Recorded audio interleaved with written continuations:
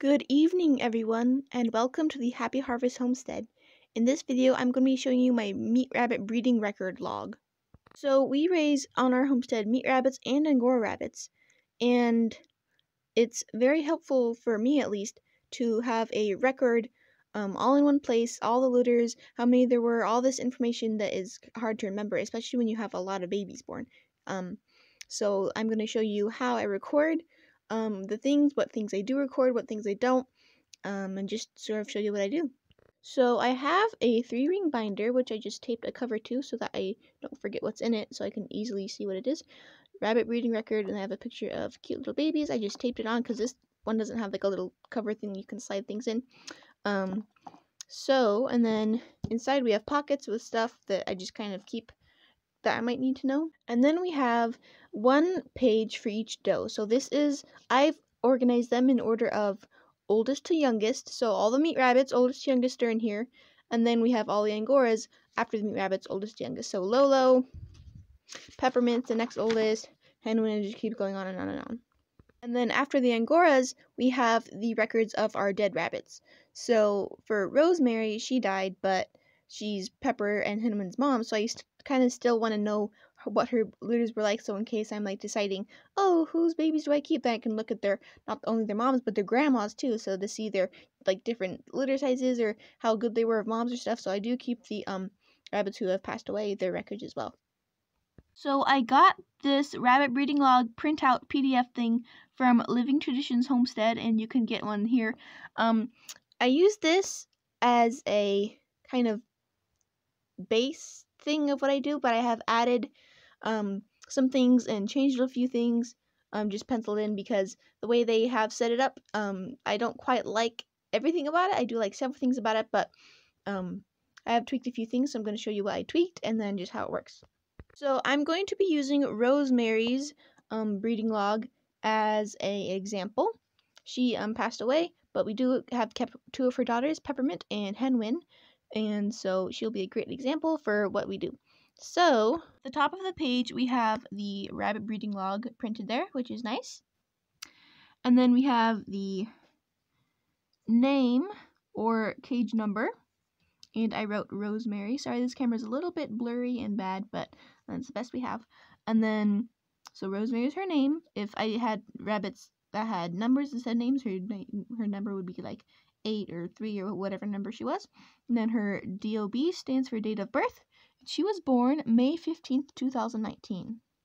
Then we have this graph thing with breed date, nest box date, expected kindle date, kindle date, number born alive, number born dead, rebreed date, wean date, butcher date. So I added an extra column over here. It's buck.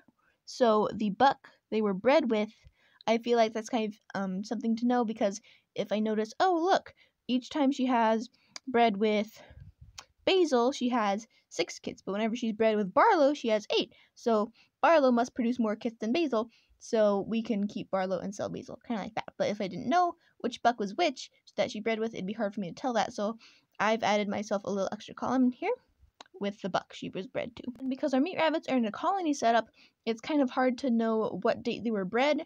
I mean, when they're born, you can count back and kind of guess which day they were bred. So, but if we happen to catch a breeding, like with Sayla, we saw her give birth and then she got bred the same day. So we know her breed date, but all, a lot of the times we don't know when they were bred. So um, we have the breed date there, which is optional, but I haven't really found that super necessary. But sometimes it is nice to have that there. Also, because we have colony set up, we don't need to put nest boxes in. They are just there all the time. So nest box date is kind of unnecessary. And then same thing with expected kindle date. Uh, if we don't know when they were bred, we don't know exactly when they're going to have babies. So, and also if I do happen to note that, I'm going to write that in my actual calendar because I look at that and I don't really look at this unless I'm filling in babies who are born or if I'm looking up something special. So I don't check this all the time. I check it every once in a while. So I find it just easier to put um, that type of information in my actual calendar that I check often. And then the Kindle date, which is Kindle means give birth, um, is very important because then you know how old your babies are, um, and then you can count back. Hey, if they kindled this day, then 30 to 35 ish days before that they were bred. So then if they're bred the same day, then probably a month later we'll have more babies, kind of like that. So that's very important. Now we come to number born alive and number born dead. I don't like born alive and born dead. I like I don't know like the wording. It just is like born dead. I mean like a lot of the times I have babies who none of them are born dead, but then one or two die when they're little.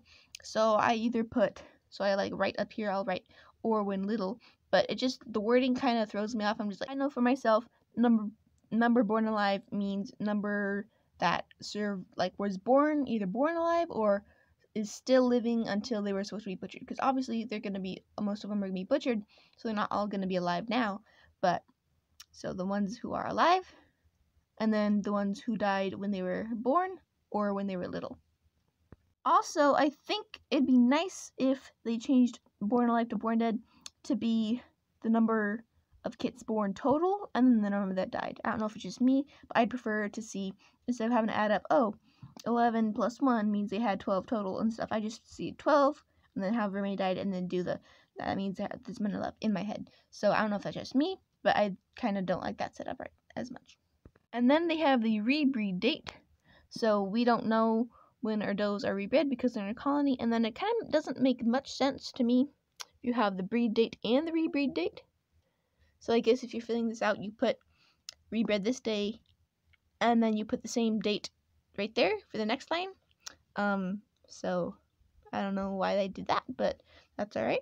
So the weaning date, I like to go by each litter is kind of different. Their mom gives birth different times. Um, for us, whenever their mom gives birth to another litter, that's when they're weaned, and then we leave them in there for a few more days just to make sure, and then we take them out. So we don't really need the weaning date because we kind of go by what the mom does and how they're good they're eating solid food, so we don't really need that there. And then butcher date is blank because we butcher by weight and not age. So different litters, different moms, different dads, um, different times of year. In the summer, they're eating a lot of grass. In the winter, they're eating a lot of feed. So they grow differently. So it goes more by weight whenever they reach five pounds. So we don't go by how old they are, we go by how much they weigh. So there are definitely a lot of things I would change about this, but there's some things that I really like and it just is a lot of work to like make one of these your own. So I just use theirs. It's really easy. You just downloaded it, I think. And then yeah. So now I'm going to show you how I fill out Lolo. She just had a litter, so I'm going to show you how I fill that out. And this sticky note is just um kind of details about one litter that I wanted to remember. So, I'll just move that aside. So, Lolo is her name. She was born February 2017. So the buck she was bred to is Barlow. So we'll write Barlow there. And then the date she was bred, we don't really need know that, so we're going to leave that blank. Nest box date, we don't need. Expected Kindle date, we do not need. Kindle date, actual Kindle date right here is, let's see, what is today? Today is December, so D-E-C dash 15 for the 15th, 20 for 2020. And then 5 for born alive, 0 born dead. I'll come back later if one happens to die. I'll scratch this out and make it 4 and make it 1 and stuff.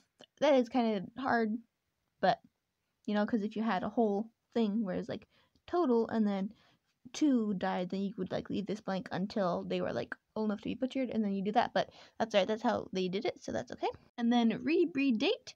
I don't know when the, she was rebred. I didn't witness it, so I'm just to leave that blank. Weaning date, we don't need to know because we go by each litter is different.